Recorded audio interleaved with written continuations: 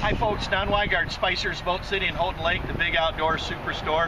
And I'm in the all new 2016 Polaris RZR 1000 XP turbocharged. It's 144 horsepower. It's got forced air induction for the turbo. It rocks. 3.0 shocks in the rear. Got 16 inches of travel in the front, 18 inches of travel in the back. We got them in stock. You got to check them out. They are awesome.